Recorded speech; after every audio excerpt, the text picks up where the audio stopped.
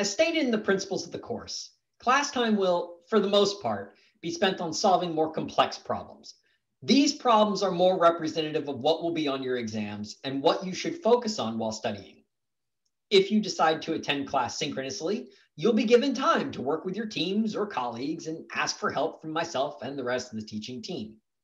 If you are working predominantly asynchronously, I recommend you pause the video at these points and try to work on the problems on your own before moving on.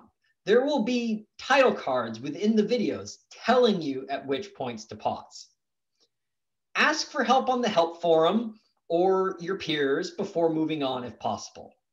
The reason for this is just watching me solve physics problems will help you learn physics about as much as watching the Red Sox will help you learn how to throw a curveball.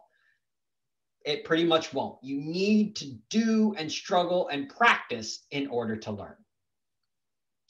The word cloud shown here is comprised of the various action verbs from the detailed what are we going to learn in this class document.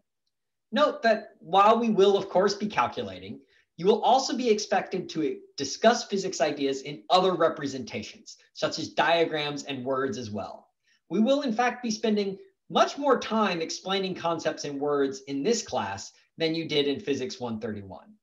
This increased verbal emphasis is a result of the fact that the concepts in Physics 132 are much more abstract and removed from your everyday experience.